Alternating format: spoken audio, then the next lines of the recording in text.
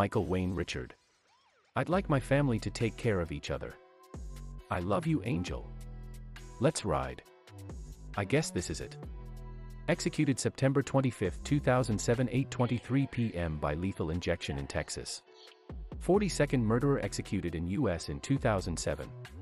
1099th murderer executed in U.S. since 1976. 26th murderer executed in Texas in 2007. 405th murderer executed in Texas since 1976. Final slash special meal. Fried chicken, a salad with pepper, lemon lime soda, apple pie, and a pint of ice cream.